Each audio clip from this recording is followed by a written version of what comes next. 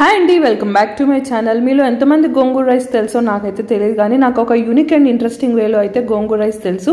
ఇది చాలా క్విక్గా అయిపోతుంది అనమాట జస్ట్ ఫైవ్ టు టెన్ మినిట్స్లో రైస్ అయితే ఫినిష్ అవుతుంది. రైస్ రెడీగా ఉంటే చాలు ఈ process just five minutes five minutes కంటే ఎక్కువ అయితే పట్టదు అండ్ చాలా ఎమ్మిగా ఉంటుంది అనమాట మెయిన్లీ ఇందులో మనం యూస్ చేసే ఆనియన్ చాలా టేస్టీగా ఉంటుంది అనమాట ఈ గోంగూర రైస్లో సో మీరు కూడా తప్పకుండా ట్రై చేస్తారని చెప్పేసి నేను ఈ వీడియో మీకు షేర్ చేద్దామని చెప్పేసి వీడియో అయితే చేస్తున్నాను. సో ఇప్పుడైతే ప్రాసెస్లోకి వెళ్ళిపోదాం.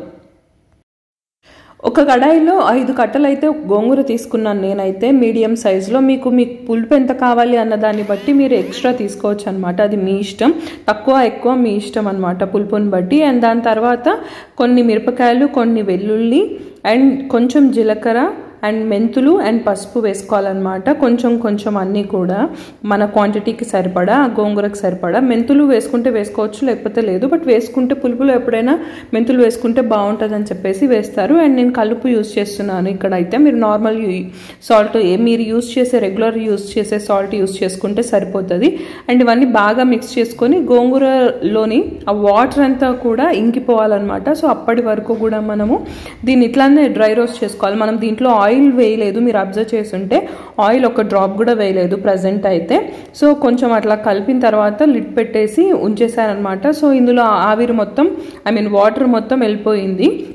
సో చూస్తున్నారు కదా సో ఇట్లా ఆవిరి మొత్తం వెళ్ళిపోయి మిర్చి అండ్ గార్లిక్ కూడా కొంచెం ఉడికిపోయినట్టుగా అయిపోయింది అనమాట ఆ పులుపులో. సో ఇప్పుడు దాన్ని తీసుకొని మనం మిక్సీ పట్టుకోవాలి. మిక్సీ పట్టుకోవడం అవసరమా అని చెప్పేసి కొంతమందికి డౌట్ రావచ్చు. ఎస్ మిక్సీ పట్టుకుంటే ఆ రైస్కి బాగా పడుతుంది అనమాట అందుకని చెప్పేసి ఇది ఆల్మోస్ట్ మనకి పేస్ట్ లాగా ఉన్నప్పటికీ కూడా మనమైతే దీన్ని ఒకసారి మిక్సీ పట్టుకోవాలి. అండ్ దీంట్లో గార్లిక్ అండ్ చిల్లీ కూడా ఉంది కాబట్టి అవన్నీ కూడా నీట్గా గ్రైండ్ అయిపోతాయి. అండ్ ఇందులో ఇప్పుడు నెక్స్ట్ అది గ్రైండ్ చేసుకున్న తర్వాత అదే కడాయిలో మనం అయితే కొంచెం ఆయిల్ వేసుకొని లైట్గా జీలకర్ర అండ్ పచ్చి ఎండుమిర్చి వేసుకోవాలి. ఇది వేసుకున్నా లేకపోయినా పర్వాలేదు అనమాట జస్ట్ నార్మల్గా ఆయిల్ వేసుకొని అందులో ఈ పేస్ట్ వేసుకొని కొంచెం ఫ్రై చేస్తే కూడా సరిపోతుంది అనమాట ఇది జస్ట్ ఎక్స్ట్రా యాడ్ ఆన్స్ అంతే. మనం ఆల్రెడీ జీలకర్ర అందులో వేసాం కాబట్టి మళ్ళీ ఇందులో వేసుకోవచ్చు వేసుకోకపోవచ్చు. అది కంప్లీట్లీ ఆప్షనల్ అనమాట అండ్ ఇది ఎప్పటి వరకు మనం ఇట్లా ఫ్రై చేయాలి ఆయిల్లో అని చెప్పేసి అనుకుంటే ఒక త్రీ టు ఫోర్ మినిట్స్ అయితే కొంచెం అలా ఆయిల్లో ఫ్రై చేయాలి.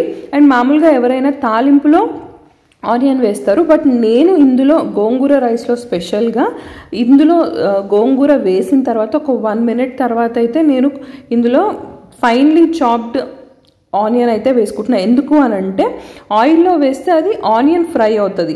బట్ మనం పేస్ట్లో వేసామనుకోండి ఆ పులుపు ఆనియన్కి బాగా పట్టి మనం ఆ ఆనియన్ మన పంటికి తగిలినప్పుడు చాలా ఎమ్మిగా పుల్లగా కొంచెం చాలా బాగుంటుంది అనమాట సో అందుకని చెప్పేసి నేను తర్వాత వేస్తాను. ఆనియన్ వేసిన తర్వాత ఒక టూ టు త్రీ మినిట్స్ మనం అట్లా కలుపుకుంటూ ఉండాలన్నమాట. తర్వాత లాస్ట్కి మనకి ఇట్లా సైడ్స్ నుంచి ఆయిల్ కనిపిస్తూ ఉంటుంది. సో అప్పుడు మనము రైస్ వేసుకోవచ్చు. రైస్ ఎంత వేసుకోవాలి అని అంటే మన పులుపుకు తగ్గట్టు as I already told you మనకి ఎంత పులుపు కావాలి మనం ఎక్కువ పులుపు కావాలంటే రైస్ కొంచెం తక్కువ వేసుకోవచ్చు. మనకు అంత పులుపు నచ్చదు బట్ కొంచెం మైల్డ్గా ఉండాలి అని చెప్పేసి అనుకుంటే కొంచెం రైస్ ఎక్కువగా వేసుకోవచ్చు అనమాట సో అది మన టేస్ట్ని బట్టి మనం చూసుకోవాలన్నమాట. అండ్ సాల్ట్ కూడా మనం ఒకసారి ఆ పేస్ట్ ఆయిల్లో ఫ్రై అవుతున్నప్పుడే మనం సాల్ట్ కూడా ఒకసారి చెక్ చేసుకొని సరిపోయిందా లేకపోతే ఇంకొంచెం యాడ్ చేసుకోవాలి అనుకుంటే మనం యాడ్ చేసుకోవచ్చు అనమాట సో ఇలా బాగా హై ఫ్లేమ్లో పెట్టి ఒక టూ త్రీ మినిట్స్ మనం ఇట్లా మంచిగా రైస్కి మొత్తం ఆ పేస్ట్ పట్టేటట్టు మనం అయితే కలుపుకోవాలి. టేస్ట్ మాత్రం చాలా బాగుంటుంది. ఇది మీరు ఒక్కసారి అయితే ఇది ఇలా ట్రై చేయండి. నాకు జస్ట్ ఫైవ్ మినిట్స్ పట్టింది కదా అంతే. ఒక ఫైవ్ మినిట్స్లో మనకి ఇట్లా టేస్టీ గోంగూర రైస్ అయితే కంప్లీట్ అయిపోతుంది.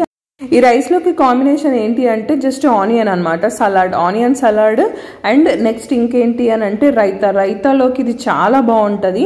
అండ్ ఫస్ట్ ఆనియన్ యూస్ చేసుకొని దాని తర్వాత రైతాలోకి ఇది కలుపుకొని తింటే చాలా బాగుంటుంది అనమాట మీరు ట్రై చేసి ఎలా ఉందో నాకు కింద కమెంట్స్లో చెప్పండి. అండ్ ఈ వీడియో కనుక మీకు నచ్చినట్టయితే like share and subscribe and keep supporting మీ ఇంటి అమ్మాయి. Thank you for watching